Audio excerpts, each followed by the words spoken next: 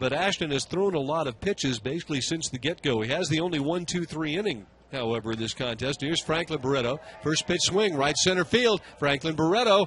And that ball is going to do some damage. It's going to find its way to the base of the wall in right center. Barreto, three for three, stand up double. Boy, and he hit that the opposite way. And, folks, he really smacked that ball. That is absolutely into the teeth of a wind that I'm guessing is 30 miles an hour.